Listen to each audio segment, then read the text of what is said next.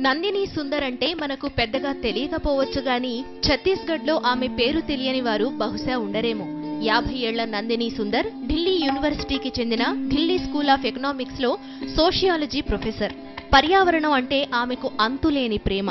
అంతేకాదు పచ్చని అడవులను నమ్ముకుని ఉండే గిరిజనులంటే అంతులేని అభిమానం. మావోయిస్టులకు వ్యతిరేకంగా ఛత్తీస్గఢ్లో రూపుదిద్దుకున్న సల్వా జుడం ఆగడాలపై సుప్రీంకోర్టులో ప్రజా ప్రయోజన వ్యాజ్యం వేశారు. సల్వా జుడం నిషేధం వెనుక నందిని సుందర్ కృషి చాలా ఉంది. ది బర్నింగ్ ఫారెస్ట్ ఇండియా స్వారిన్ బస్తర్ అనే పుస్తకంలో మానవ హక్కుల ఉల్లంఘనను కళ్ళకు కట్టినట్టు వర్ణించారు నందిని. సుక్మా జిల్లాలో శ్యామనాథ్ బాగేల్ అనే గిరిజనుడి హత్యలో నందిని సుందర్ పాత్ర ఉందని ఆరోపిస్తూ ఛత్తీస్గఢ్ పోలీసులు ఆమెపై కేసు నమోదు చేశారు. సామాజిక గుర్తింపు తెగలు కులాలు ఆధునిక భారతంలో రాజకీయ విజ్ఞానం సామాజిక గుర్తింపునకు సంబంధించి చేస్తున్న విశేష కృషికి గాను ఇన్ఫోసిస్ సంస్థ నందిని సుందర్కు రెండు వేల పది ఇన్ఫోసిస్ బహుమతిని సత్కరించింది. Delhi university sociology professor and human rights activist Nandini Sundar was accused of the murder of a tribal in Bastar by the Chhattisgarh police there is something Kafkaesque in this bizarre accusation One has heard of the wonderful work she has been doing in the Bastar area in Chhattisgarh for close to two decades, and so this sounded preposterous. As Professor Nandini Sundar is in town, we decided to speak to her and hear what she has to say about her work with the tribals and what led to this inconceivable accusation. It's a pleasure and an honor to have you here with us today, in, uh, Professor Nandini Sundar. Thank you. And um, on behalf of our viewers at Sakshi, I welcome you first to the city of Hyderabad and to our studios. Thank you. So uh, let's hear it from you, uh, this journey that you had. First of all, as a student of sociology, uh, to working as an activist in the forests of Bastar. How did this happen?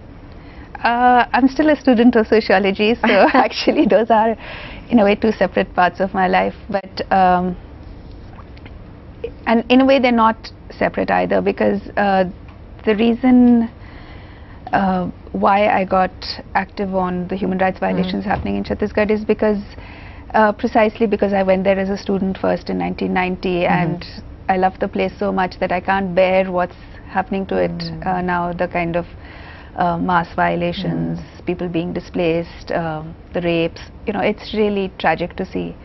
Uh, so it's sort of part of the research that I've been doing over the last 26 years. Was there any, I mean, any parental restrictions from your family? How did they allow you to just go into the forest like that? I can imagine my mother putting her foot firmly down and saying, no way. Uh, my parents are very supportive actually. They're both, um, you know, I was living in, in 1990 when I was living in a village. I would, they would insist that I would, I should call home every week. So I'd have to go 70 kilometers to make a phone call. In those days, you didn't have any Cell phones. cell phones or anything. There was one PCO in the uh, city. So, uh, but apart and now because of the way that the Chhattisgarh police is hounding Mhm. everybody, journalists, know. lawyers. So now they're worried, but Mm. otherwise they are quite relaxed. And your husband? Now. Husband is really relaxed. Worried? no. okay. And then, uh, so how was it then? Uh, you've talked about it in your book. You said it was very pleasant back then. I'm talking about more than two decades ago. How was the landscape of Bastar then? It's one of the to- most beautiful forested places in this country. It's incredibly beautiful.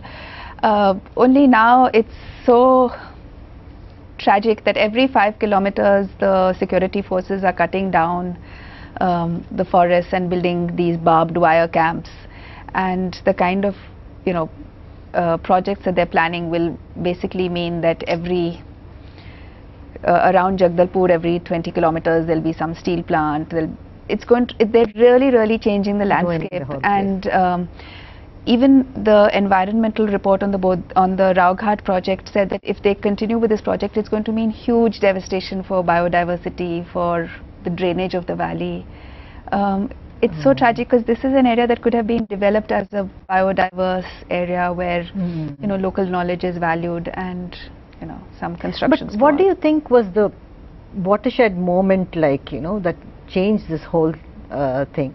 Um, Was it something that happened at one shot, or was it some gradual change that occurred post liberalization? You know, this lust for land and greed for mining.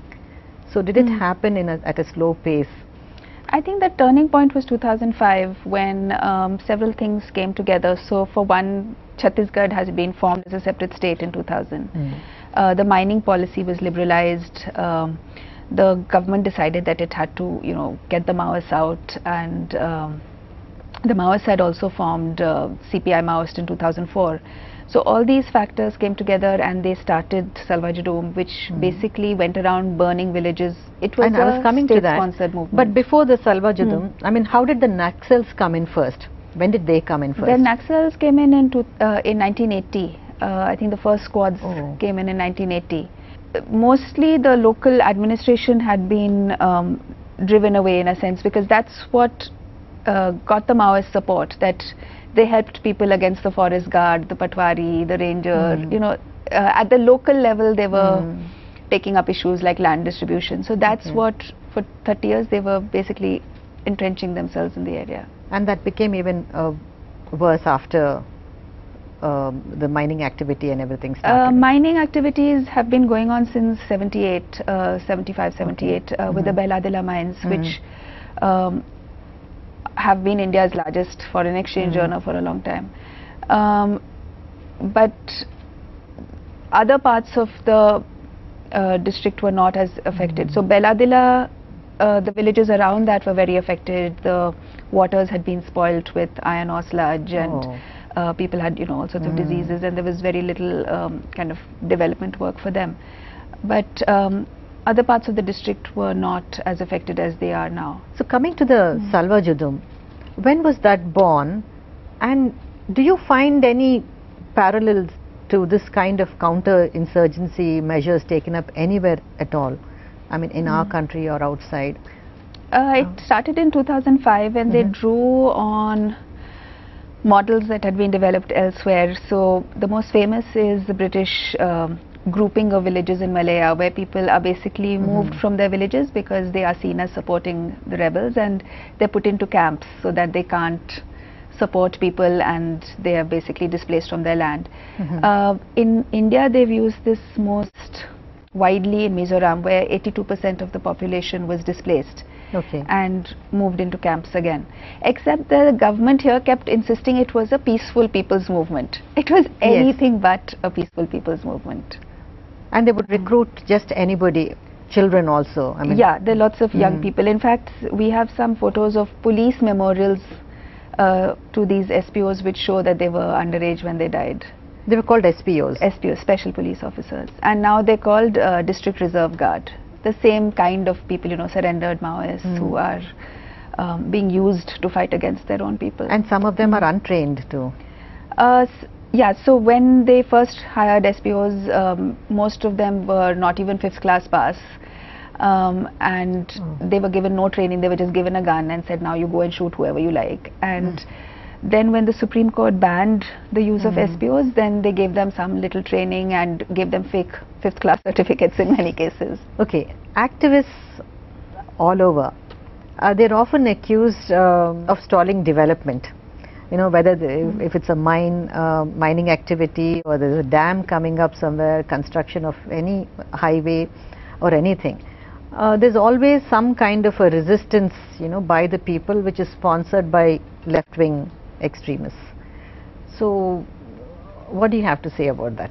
I think many people want is genuine development. It's not that anybody is anti-development. It's a question of what kind of development. Is it a kind of development that's only going to benefit industrialists and contractors and people who are building the mines and while everybody else is displaced or is it something that's going to give people who are living on those lands a share in the prosperity that comes out of that development and um, you know uh, especially with climate change i Mhm. don't think we can afford to think of development in the old way Mm. i mean it's not for the adivasis that we are really saying there should Mm. be a different model of development it's for the whole country, Country. because And the world at large. and the world at Mm. large right so everybody wants schools everybody wants hospitals Mm. everybody wants um, employment and we need to figure out a way in which people can get that. That is genuine development. For some reason, not for some reason, it's quite obvious you are considered to be a Maoist sympathizer. And um, apart from this, there's this absurd filing of this absurd um, accusation against you, you know, that you're complicit in the murder of uh, the tribal called, uh, was it Shamnath Baghel? Hmm. How did this happen? I mean, how ridiculous is this charge? Why did this happen? It's, I mean, you're fighting for the uh, the tribals Yeah. there, and then you're accused of being complicit in the murder of one of them. I'll, I'll just give you the background to the charge against us. But Okay. right now, they have arrested seven people from Telangana who were going into Chhattisgarh on a fact-finding team, Oh, including High Court lawyers, journalists, Mhm. a leader of an Adivasi group, a leader of a Dalit group. Uh, So this happened recently? This happened on the 25th of December. Okay. And they were handed over by the Telangana police to the Chhattisgarh police and accused of carrying one lakh in old notes for the Maoists. This is, I mean, what happened to us is part of a larger pattern where they're trying to get rid of happen, mm. anybody who's critical or who will highlight any kind of violation. But in terms of what happened to us, um, actually it goes back. Um, in 2011, the Chhattisgarh police went and burnt three villages and Mhm. killed people, raped. Uh, so, as part of our Supreme Court case, uh, Mhm. the court had ordered um, the CBI to investigate Yes. this. So, this year, after five years, the CBI filed a charge sheet in which they said the police have burnt, the SPOs Yes. have burnt the villages. So, immediately after that, um, the Chhattisgarh police, the IG Kalluri, uh, Mhm. called a press conference. He said the CBI is lying. Mhm. Then the police burnt our effigies and they attacked Manish Kunjam, who's one of my co-petitioners, who's an Mhm. Adivasi leader there. And uh, then immediately after that, they filed this fake murder charge against us. And the wife of the person who is murdered, who she herself has given evidence. Exactly. Mm. She's saying that she has not named anybody, she doesn't know Mhm. anything. Mhm. Uh, the villagers there are saying that they have not named Mhm. us. So the police, and if you read the police, the complaint which the wife is supposedly given, Mm. it is so clearly a police fabrication. But what is shocking is that, you know, the police are continuing to operate and get away with all of this rubbish. But they were called by the NHRC. Uh, Yeah. They were summoned uh, to give an explanation. Um, uh, Mr. Kalluri, the IG of Bastar, and also the Chief Secretary. right. So, what came out of this meeting? So the chief secretary went off abroad with Dr. Raman Singh. Oh. So he did not attend, and the IG uh, was um in hospital in Vishakhapatnam. Um, Hmm. uh, he said that he had a kidney and heart Hmm. problem, Mhm. and um, he's come back now, and the NHRC has summoned them on the 16th.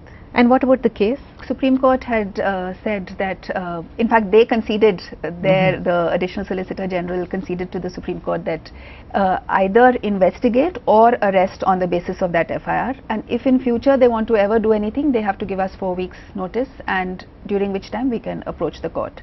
So the court has given us protection for the past and the Mhm. future Okay. because they recognize clearly that you I know, we know. were in the middle Mm. of this whole argument you know with the CBI submitting its charge sheet and everything and the you can't win a case by uh, putting your opponent in jail i mean what sort of a way is that of fighting a court case Okay. But uh, statutory bodies like the NHRC, um, do you think they have any teeth? I mean, uh, can they really do anything much? i think it's up to the statutory bodies um, whether they want to exercise the powers or not but they do have powers. they do have powers and they Mhm. should exercise them and in some cases they have like in gujarat uh, justice verma did take up cases Mhm. um, so Uh, coming back to the Salva Judum, uh, with reference to that PIL that you filed, uh, I think along with uh, Mr. Ramchandra Guha and uh, Mr. E.A.S. Sarma, That's isn't right, it? yeah. Okay. So you write in your book that you were there for the judgment, to hear the judgment, and you say uh, this judgment was delivered by Justice Sudarshan Reddy and Justice S.S. Nijjar, isn't Hmm. it? So it came as a complete shock to you, you said. Why? Why was it a shock?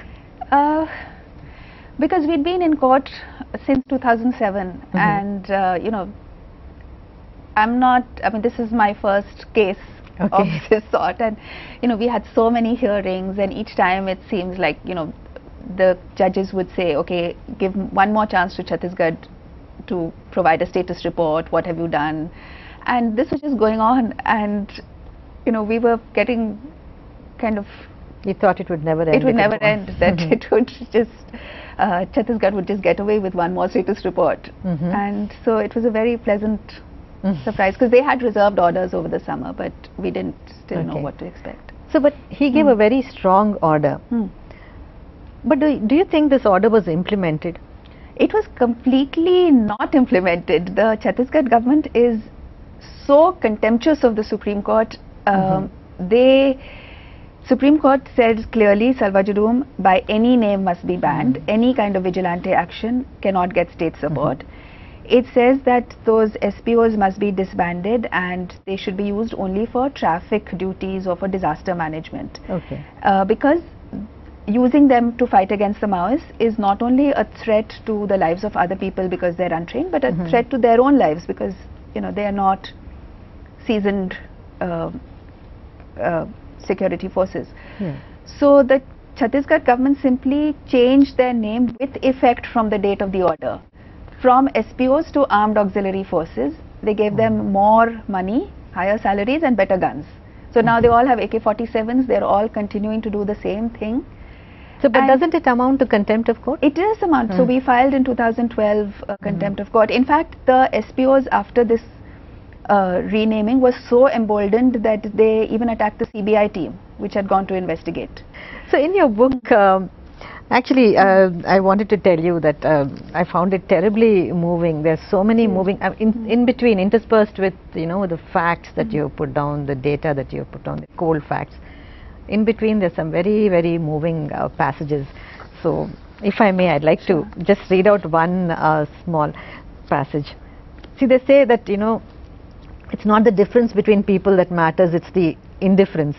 And this particular passage moved me so much because that's what I think most of us are doing. We are just so apathetic we have become. We just listen to news and it's become like part of our routine. So that's, uh, I'll just read this out.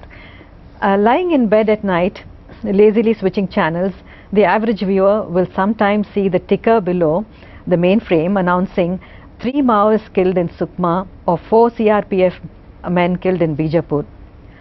If it is a major attack, uh, she might find the channel turning several talking heads in different frames, shouting at each other, the anchor shouting at them all.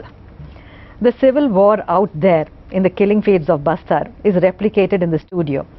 In the midst of the melee, it's impossible to know what the real war is about or even care. What she will learn is that the Naxalites are irrational at best and terrorists, extortionists, and inhumane monsters at worst, holding back the development of the country. If the government is at fault, it is only because, as the opposition spokesperson has pointed out, they have not sent in sufficient troops or the troops did not follow the standard operating procedure, laying themselves open to an ambush. There may be one lone voice saying something about Adivasis and the need for peace talks, but the anchor will not let her speak. And anyway, she's probably anti national. So it's a good thing. After five minutes, the average viewer switches off the TV and the light and falls asleep.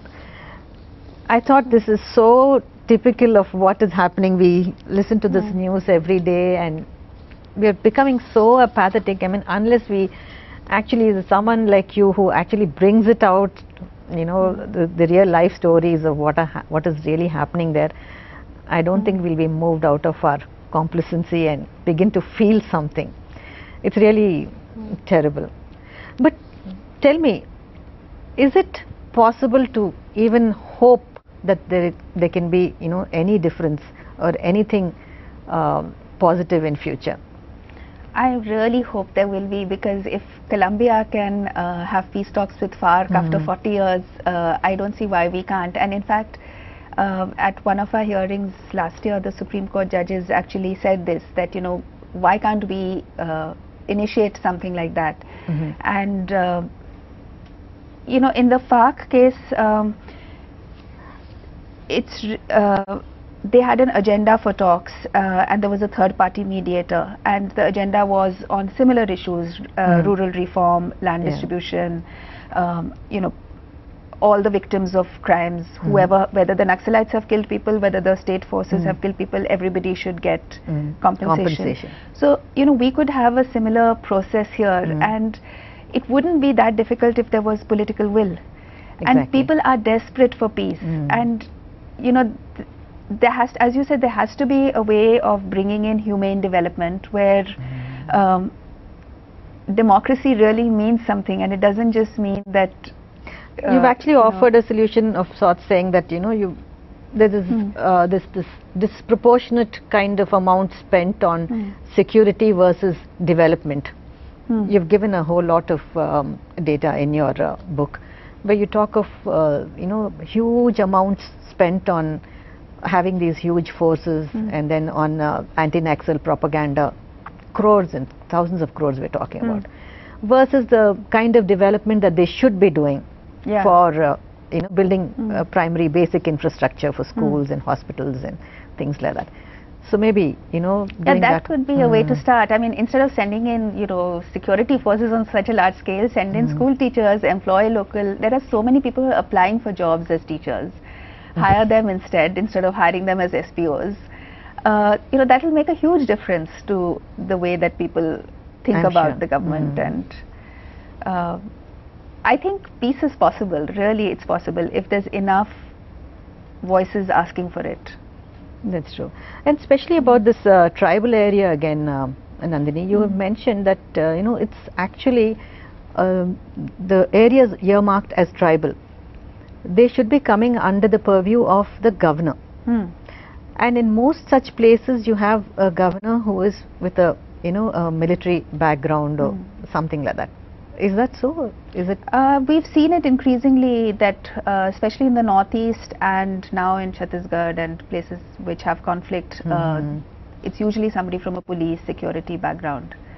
Um, but, you know, the fifth schedule clearly gives the governor certain powers to administer tribal areas, uh, which governors have never done because usually they're appointed by the same ruling party. Exactly. So uh, it's something that we should think about how to actually Mhm. you know make these schedules meaningful I found the the ending of the book, especially the epilogue, extremely poignant, and uh, it has haunted me ever since I put it down. You know, you talk about what you wish to see there, and you know about the verdant hills of Bastar and how all this kind of you know with proper development, it'll all grow back.